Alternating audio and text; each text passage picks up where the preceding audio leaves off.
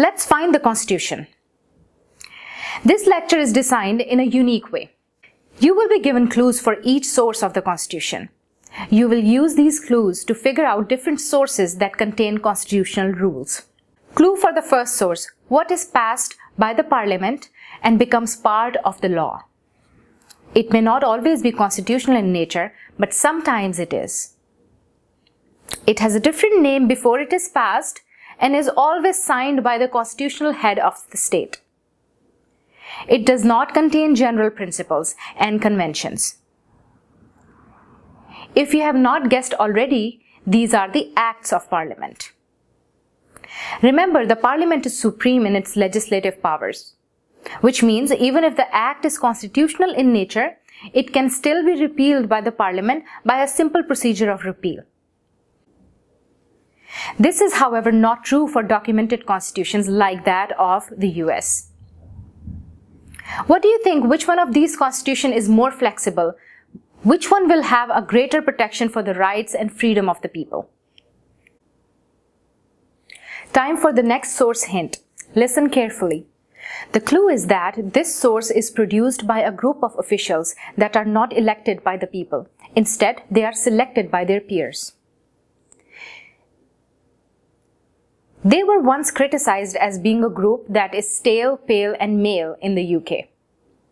They were part of the House of Lords a few years ago, but now have their own separate branch. The Constitutional Reform Act of 2005 established this new branch.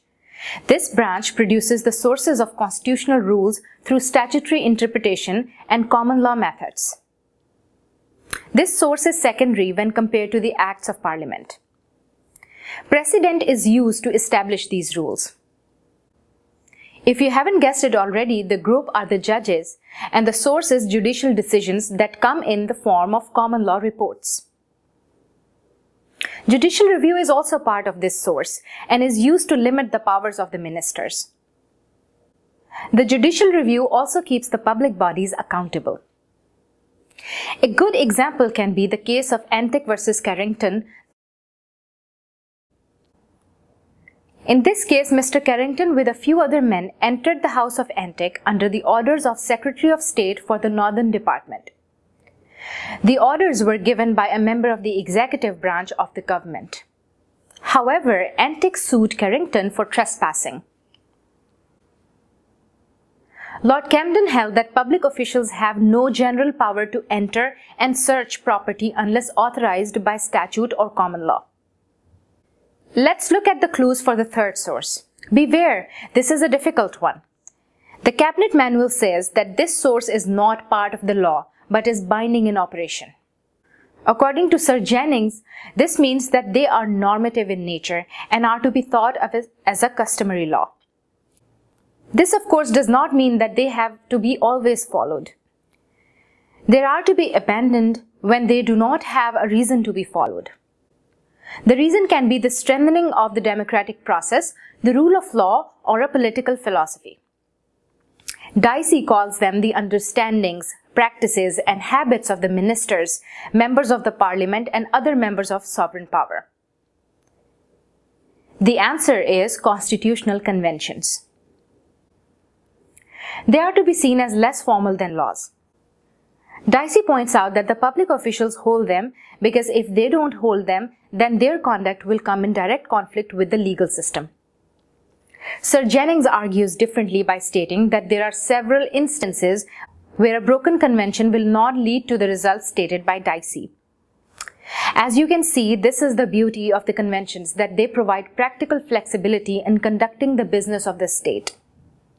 The result is a form of governance that is based on tradition and is ready to adapt to new challenges and changes in the society. Do you think the government should try to invest in a software system that can predict the ripple effect of a broken convention? Do you think this will be helpful tool for public officials in making decisions and for the public in their understanding of the constitution? Here are the clues for the fourth source of constitution.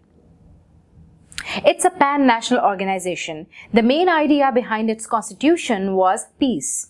The decisions made by the legislative, executive and judicial branches are influenced by this organization and its influence has changed the most orthodox principle of the UK's constitution known as the supremacy of the parliament. The answer is European Union. The European Court of Justice in a landmark decision Costa versus Enel 1964 established that EU law has supremacy over the member state law. An Italian citizen, Mr. Costa, challenged the government's decision to nationalize the electricity department and refused to pay the bill issued by the new national company Enel. The court partially ruled in favor of Enel. However, the court also established that it is important that community law is not to be deemed subordinate to national law, therefore establishing the supremacy of EU law. In view of this case, what do you think how do judges in UK decide cases where the national law comes in conflict with the community law? We will be exploring the answer to this question later. The clues for the final source are the following. It is a kind of law that is heavily influenced by international events. It has become more relevant in the last 50 years by globalization. It has established international organizations like the World Trade Organization to promote international trade and has given rise to the notion of basic human rights and liberties.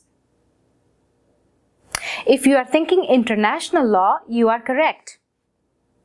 International organizations like United Nations and NATO are governed by international law. The international law has an influence on the constitutional framework of UK because UK has to work with other nations when dealing with issues like terrorism, smuggling, human right violation, policy and fraud.